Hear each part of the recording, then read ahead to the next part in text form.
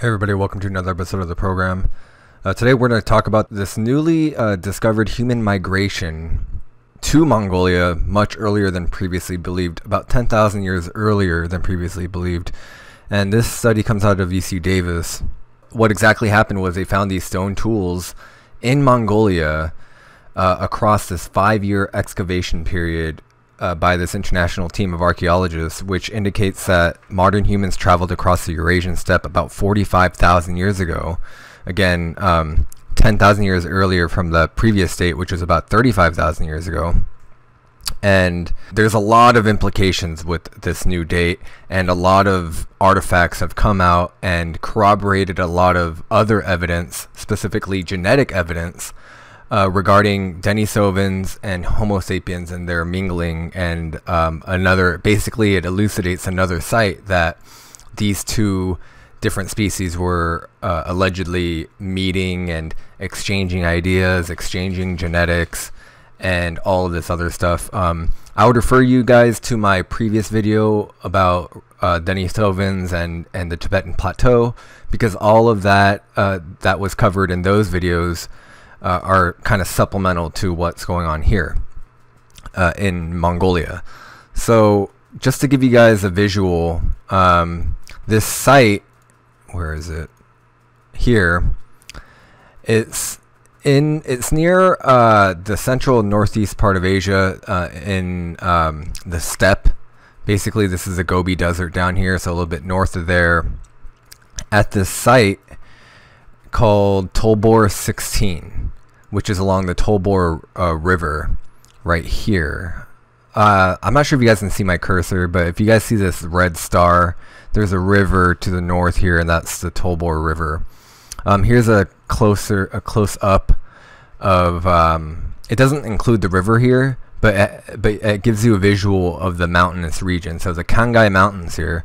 It's on the northern part so there's a river here that you can't see uh, on the northern part of this mountain range, and that's where the Tolbor site was. And to give you guys a reference in relation to the Tibetan Plateau, this is the Tibetan Plateau here, and then this area again. If you guys see where the steps are, if you're having trouble seeing the cursor, it's no, it's upward north of this word steps, and it's a lot. It's right here kind of at the border here of Siberia and Mongolia, uh, near this area here.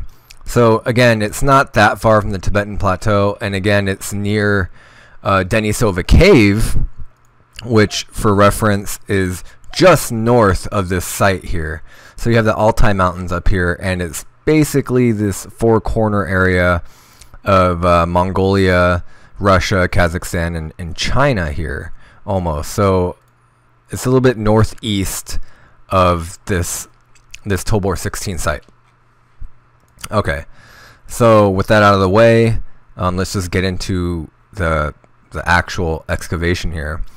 So this site, again, it points to a new location where modern humans may have first encountered their mysterious cousins, the Denisovans. And again, um, if you just look at the where all the different places are, Tibet, and then this this Tolbor site, and Denisova Cave, it does make sense that they're they these the Homo modern humans or Homo sapiens and Denisovans, they must have met each other here. There's no way that they that they missed each other. So for sure, there's some mingling here. It, it's just been up to the archaeologists and anthropologists to find some evidence of this, and uh, some of these tools again they corroborate um, some of the genetic evidence previously discovered, and I go over that in my uh, other videos. Um, and this is led by Zwin. So uh, Zwin, Zwin's led excavations from 2011 to 2016, so about five years of excavations at this site.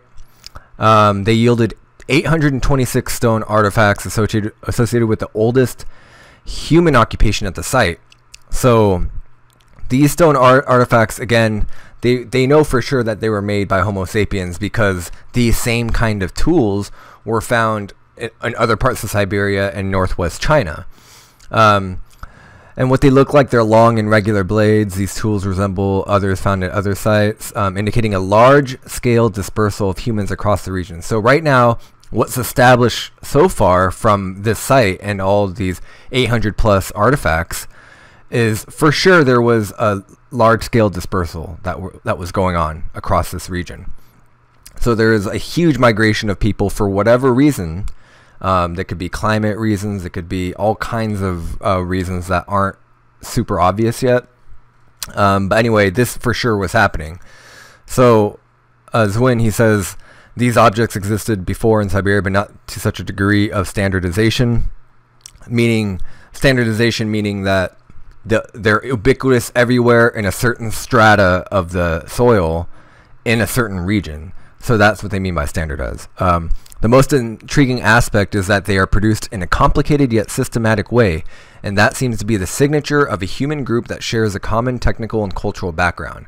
So it's pretty uniform in in a sense that these were all not only did all these tools look similar, but the way that they were built and the way that they were created required some sort of technical and cultural base meaning there had to be some level of stability long enough to develop th- these types of techniques and to pass them down through the culture to the future generations.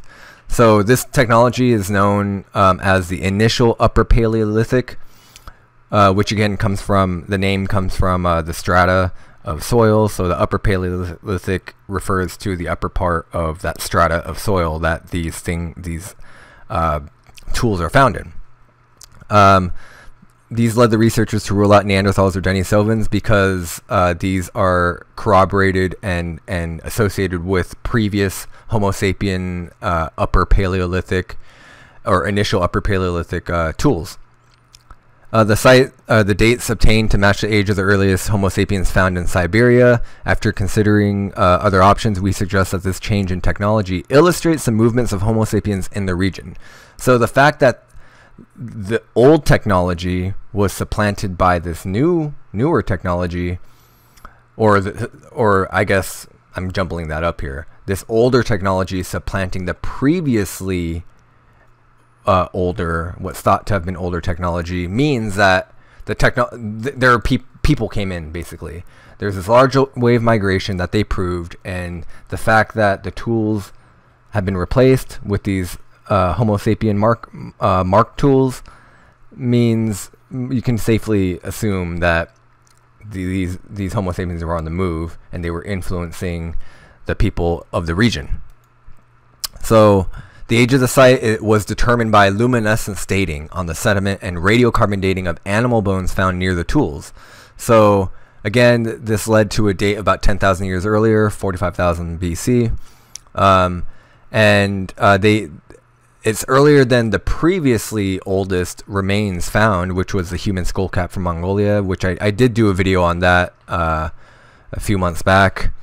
Um, and this is again, if you were, if you were to accept the out of Africa theory, this is about fifteen thousand years after humans left uh, Africa. So um, there's a lot of uh, different scenarios you can paint here to try to retrofit this modern uh, out of Africa, modern humans leaving Africa.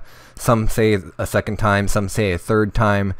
Um, but either way, this specific migration about 60,000 years ago, or 60,000 BC rather, um, again, could 15,000 years later, these groups of humans come in, and I guess you could come up with a bunch of different scenarios there that I won't discuss uh, here.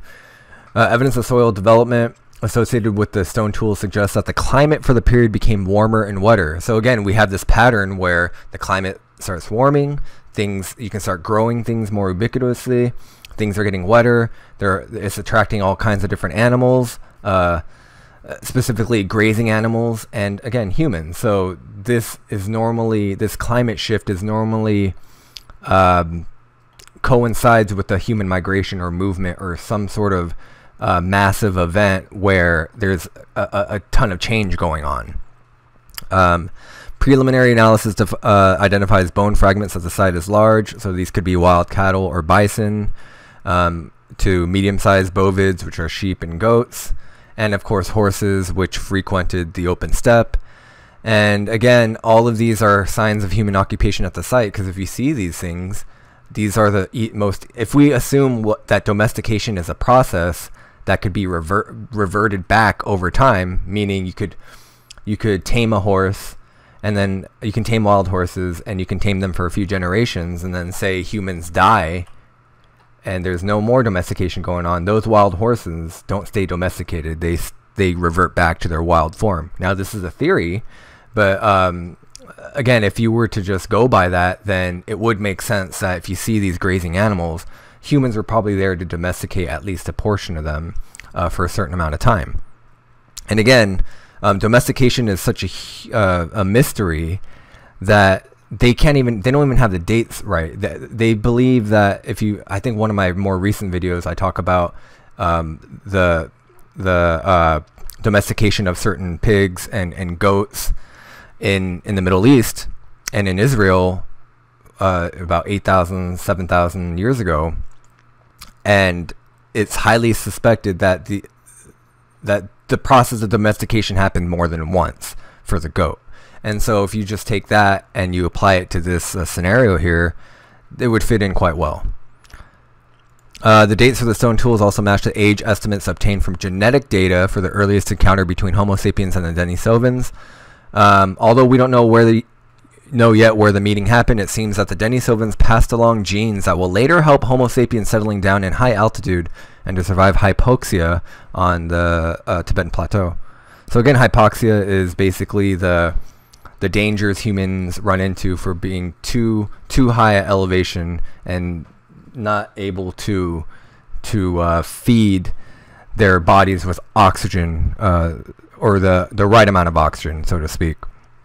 And it's been speculated that the Denisovans passed this high altitude gene on to the uh, the humans that later populated the Tibetan plateau because um, again where else could that gene have come from? It's not a it was thought of as a random mutation but it seems like now it was uh, inherited from another uh, species of human. And I go further in depth in that in a previous video in my Denisovan video one of my many Denisovan videos uh, from this point of view, the site of Tolbor 16 is an important archaeological link between Siberia and northwest China on a route where Homo sapiens had multiple possibilities to meet local populations such as the Denisovans. So, again, more and more evidence keeps coming out linking Denisovans, Neanderthals, and humans. Um, a few uh, episodes ago, I did uh, I covered two of the extinct hominins that we haven't uh, clearly identified. They their genetics also survive in, into uh, the modern uh, gene pool now. So I always say whenever I do these videos that again there are all these different possibilities that Homo sapiens and Denisovans specifically uh, met with each other, and more and more evidence is going to come bear those connections out, and eventually we'll have probably more than a few points of of this this meeting point, so to speak. So whether it's in history, these geographical meeting points, um, the, these temporal meeting points between these two uh, species of human, that there were probably more than one, and they were probably going on independent of each other, more or less. So uh, anyway, let me know what you guys think about this, um, about again Denisovans and and our uh, minglings between the two. And if you've heard anything else uh, regarding uh, evidence, because again, evidence keeps coming up and up almost weekly uh, in regard not just Homo sapiens and and Denisovans, but a lot of other stuff. Like in North America, the peopling of North America, South America, Australia, just it seems like everything was going on. There's so much evidence out there to be found that the fact that they survived to this day must mean that there must have been a significant amount of people back in those days that were living and not only living but thriving um, because there's so much left over from what they were uh, subsisting on, like tools and and all of these other remains. So uh, anyway, let me know what you guys think, and I'll talk to you guys later.